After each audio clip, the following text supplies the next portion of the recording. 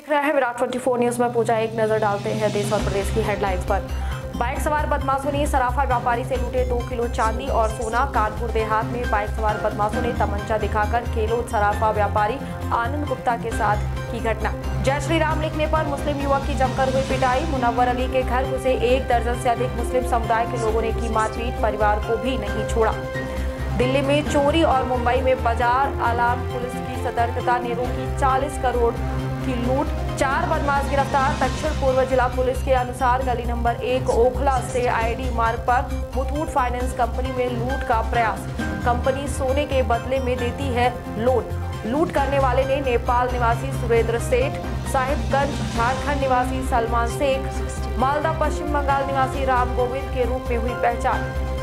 देव मेला में सोने की चेन चुराते विदेशी समेत तीन गिरफ़्तार, चेन सहित एक आरोपी फरार। कई मेले में दे चुके हैं वारदात। औरंगाबाद देव चैती छठ मेला में हुई ये वारदात।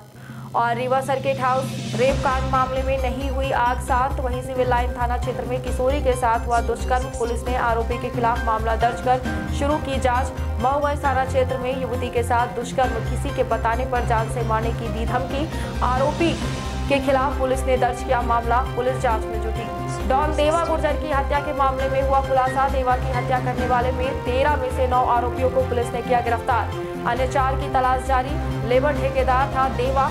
दूसरा गिरोह नहीं चाहता था कि उसका काम बढ़े। दूसरे गुंडे देवा के कुछ दोस्तों के साथ मिलकर रास्ते से हटाने की रची थी साजिश।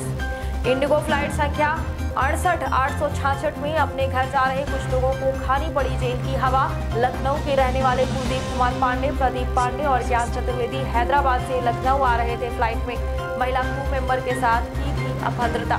ताज नगरी में कोल्ड ड्रिंक पिलाकर युवती से किया दुष्कर्म, वीडियो बनाया। मामला पहुँचा थाने।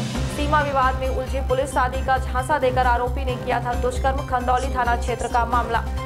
और शादी का झांसा देकर करता रहा यौन शोषण। तीन साल बाद निकला चार बच्चों का पिता बिहार के जमुई ज़िले में युवती ने प्रेमी के खिलाफ दर्ज कराई शिकायत। आरोपी कांग्रेस कुमार यादव की पुलिस कर रही है तलाश। गर्लफ्रेंड उधार लेकर कराती जमानत, बॉयफ्रेंड कर चुकाने करता था लूट। प्यार और लूट का अजब मामला। आरोपी विशाल नानीरिया को पुलिस ने पकड़कर कर रही है पूछताछ और हीरानगर सहित कई थानों में है मामले दर्ज।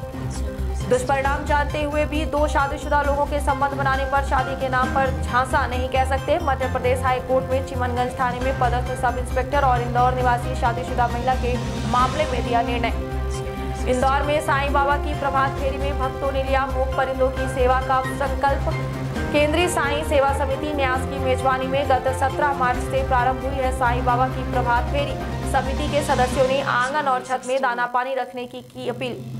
इंदौर में पत्रकारिता के पाँच दशक पूरे कर चुके कलमकारों का सम्मान। मूर्धन्य पत्रकार राजेंद्र माथुर की स्मृति में व्याख्यान आयोजित। हिमाचल प्रदेश के पूर्व राज्यपाल जस्टिस बी एस कोकजे, सांसद शंकर लालवानी, देवी अहिल्या विश्वविद्यालय के कुलपति डॉक्टर रेणु जैन विशेष रूप से उपस्थित। और धर्म सांसद ने महात्मा गांधी को अपशब्द कहने वाले कालीचरण महाराज की नब्बे दिन बाद जमानत पर जेल से छूटे। महात्मा गांधी पर दिए अपने बयान को लेकर दी प्रतिक्रिया। कहा, बयान सोच समझ कर दिया।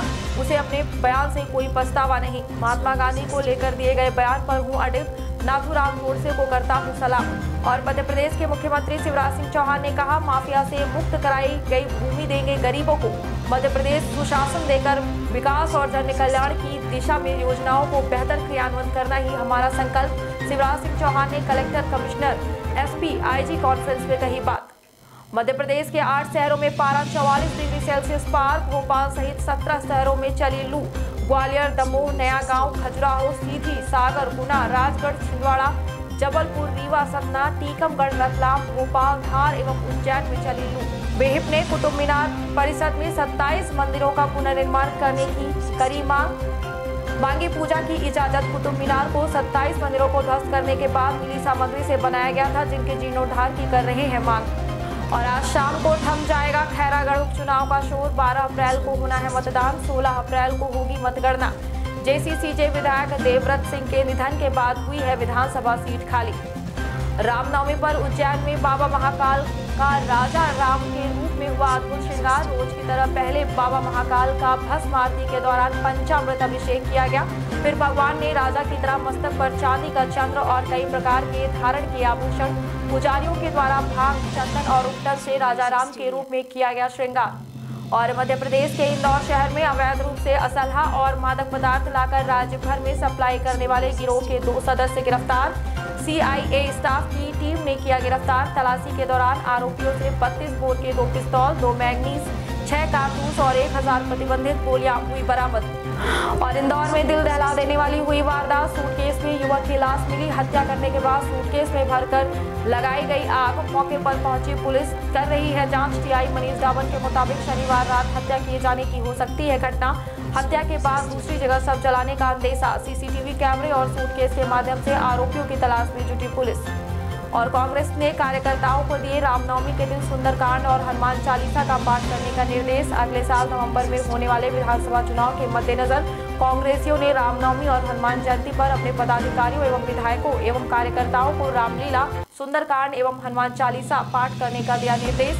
मजबूरी में हिंदुत्व पर लौट रही कांग्रेस कमलनाथ के निर्देश पर पूर्व मंत्री के घर पर हुआ सुंदर पाठ का बहुसंख्यक वोटरों का लुभाने के लिए कांग्रेस को जाना पड़ा हिंदू देवी देवताओं की शरण में। केंद्रीय आवास और शहरी मंत्रालय ने इट स्मार्ट सिटी चैलेंज की विजेताओं की की घोषणा प्रतियोगिता में 11 शहर शामिल। मध्य प्रदेश के सर्वाधिक चार शहर इंदौर, जबलपुर, सागर और उज्जैन हुए शामिल। विजेता शहर को मिलेगा 50 लाख का पुरस्कार। इसके अलावा जुलाई 2022 में वार्मिंगम में प्रस्तावित कार्यक्रम में शामिल होने का मिल सकेगा मौका। सफलता के लिए मुख्यमंत्री शिवराज सिंह चौहान ने नगरीय विकास एवं आवास विभाग एवं चारों विजेता शहरों के अधिकारियों और कर्मचारियों को दी बधाई। ग्वालियर में चौंकाने वाला मामला आया सामने। घाटी गाँव तहसील के वीरावली गाँव में रहने वाले एक ही परिवार के ग्यारह सदस्यों ने मांगी इच्छा मृत्यु। राष्ट्रपति के नाम लिखकर प्रशासनिक अमले को सौंपा परिवार का आरोप। जितेंद्र अग्रवाल और विजय काकवानी नाम के दबंग जबरन उनकी ज़मीन पर कब लिए है कब्जा। प्रशासनिक अफसरों पर भी लगाया मिली भगत का आरोप। छिंदवाड़ा में भारतीय जनता युवा मोर्चा के जिला अध्यक्ष ने तलवार से काटा केक। कांग्रेस ने पूछा, प्रेम और भाईचारे के देश में तलवार क्यों? बीजेपी युवा मोर्चा जिला अध्यक्ष योगेंद्र प्रताप राणा के जन्मदिन के मौके पर तलवार से केक काटने का मामला आया सामने। 140 धारा लगी होने के बावजूद सार्वजनिक रूप से अस्त्र शस्त्रों का किया प्रदर्शन, कांग्रेस ने लिया आड़े हाथ। देश और प्रदेश की फटाफट खबरों के लिए देखते रहिए विराट न्यूज़। नमस्कार।